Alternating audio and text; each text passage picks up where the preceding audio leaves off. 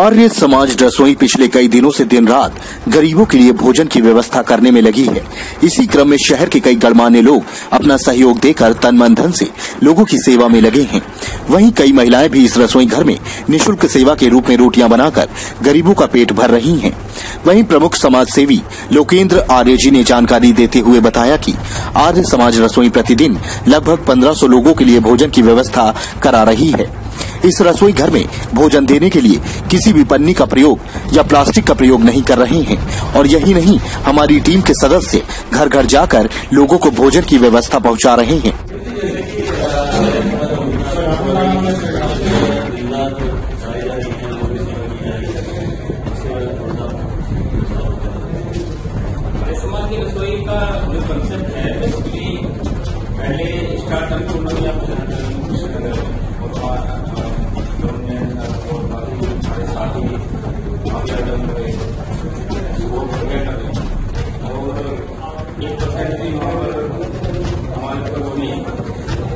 तो ये जो भी करना चाहिए इस चीज़ को लाइन साल में ना सर्विस बच्चे बहुत ज़्यादा मासिक खाना घर के था दो दिनों से गुजर रहा था तो मैंने प्रशासन से भी ये निवेदन किया था।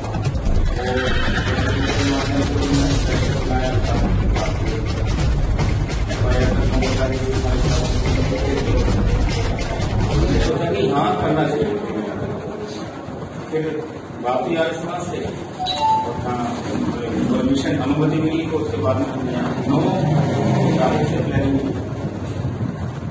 और तहसीलदार साहब और लोगों को बुलाया स्टार्ट कर दिया हमने निश्चित रूप से भी अपने क्षेत्र से बाहर आते हैं तो थोड़ा कठिनाई होती है, लेकिन भाई साहब है परमिता जी हैं, भाई साहब हैं और अमित गोयल जी हैं। हम तो अखबार के लिए निकले थे कि कुछ अखबार यहाँ पर।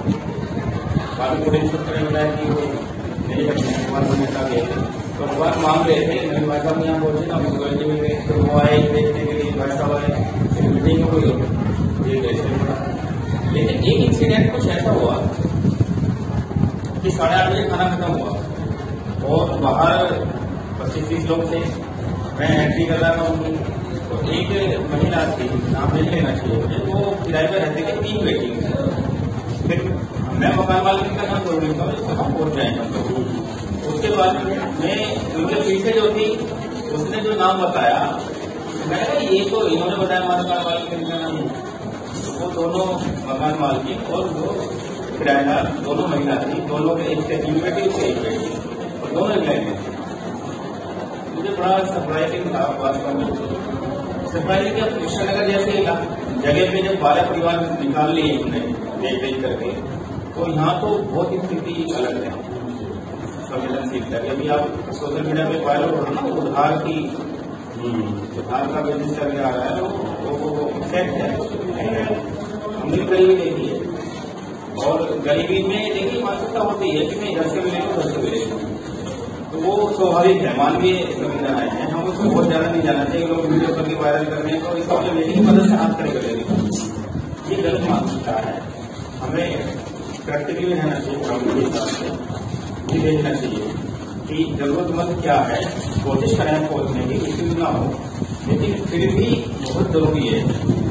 तो जब उनसे बात करने के बाद में खाना खत्म हो गया था तो एकदम से मेरे दिमाग में ये आया कि जो भी करना चाहता है काम, वो खाना बना सकते हैं यहाँ अभी भी एक डेढ़ घंटा है दस हम लोग खाना खा लेते हैं। तो देखिए, जिन्हें नहीं करना था, उन्हें ज़रूरत भी नहीं होगी। और ज़्यादातर लोग चले गए, वो दोनों महिला महिलाएँ उन्होंने खाना बनाया, चालीस पचास लोगों का, जो कि और भी लोग थे मित्र भी और यार हम फिर व्यवस्था उस दिन के बाद हमने ये बनाई, हलवाई से हमने हाथ जोड़ ली दोनों भाई थे हमारे पास। ज़्यादा नहीं ले रहे थे, वो छह सौ रुपये ले रहे थे छह सौ रुपये से हमारे पास में, समझिए कि बीस किलो, पच्चीस किलो चावला था तो वो हटाए हमने, और आज जो व्यवस्था आई, मुझे नहीं लगता मोदी में कहीं होगी ऐसी व्यवस्था, जितनी भी छह सात चल रही है तो यहाँ महिलाएँ गई तो तीन से सत्रह महिलाएँ हैं अभी इस समय। और बारह तेरह कर के जाती हमने ये रखा एक घंटा करना चाहो एक घंटा करो, दो घंटे। और कुछ महिलाएँ ऐसी हैं गुरुनानकपुर से एक घंटे आती हैं, वो तो दोनों टाइम आती हैं। और वहाँ से तीन घरों से वो खाना भी लेके आती है मतलब रोटी है कलेक्टर से मतलब रोटी नहीं के हिसाब से। एक हमारे मित्र हैं, ब्रह्मपुरी से, वो पचहत्तर रोटी पर लाते हैं शुरुआत करके। तो ये कंसेप्ट दिमाग में आया कि हम सेल्फ हेल्प ग्रुप की तरह से चलाएँ और उसमें छह के साथ रुपए पर डाइट की में कहीं नहीं आ सकती। प्लास्टिक घड़ी काम है, सोशल डिस्टेंसिंग में मिनी किचन दो सौ तीन सौ है ना कि इंद्रापुरी से है इंद्रापुरी तीन सौ किलोमीटर से यहाँ से करीब पाँच सौ मीटर की दूरी पे, जिससे वो लोग गाय ज़्यादा यहाँ भीड़ न लगे, उनका मान सम्मान भी रहे। सबसे बड़ी बात, मान सम्मान। देखो, आप उनके चेहरे पर कितनी रौनक है। तो पैसे वाले नहीं हो सकते कि आप सौ रुपये पर दे।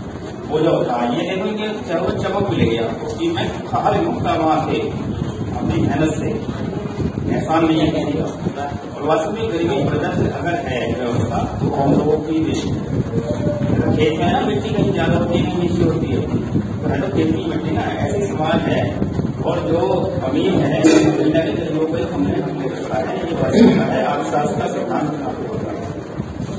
आपके सामने ये व्यवस्था स्टोर है।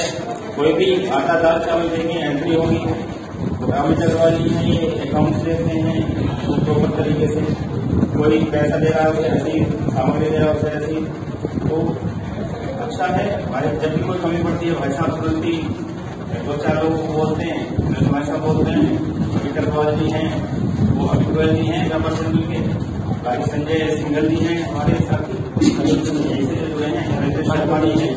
तो हैं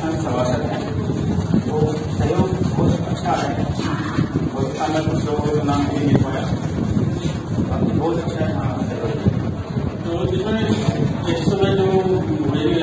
चल रही है कितने स्टार्टिंग में 500 पैकेट से ये थे आज के समय में आप देखेंगे कि दो किलो से ज़्यादा लग जाता है कोई भी थोड़ी बहुत टेक्निकल थी है वो कर सकता है रोटी बन और करीब पच्चीस के साथ किलो चावल हमारे सौ इस समय व्यवस्था है और हम कोशिश तो कर कि वहाँ पर जाने से जो मिली रसोई है कि दो सौ तीन सौ कम होंगे, लेकिन दो दो तीन सौ बढ़ेंगे और बढ़ेंगे तो जितना बढ़ा सकते हैं क्योंकि अब सहयोगी लोग बढ़ रहे हैं तो हम लोग बढ़ाएँगे क्योंकि लक्ष्य ट्रस्ट जो है, उन्होंने भी हमारी मदद अब करनी शुरू कर दी उन्हीं की मदद से जो मेरी रसोई है वो स्टार्ट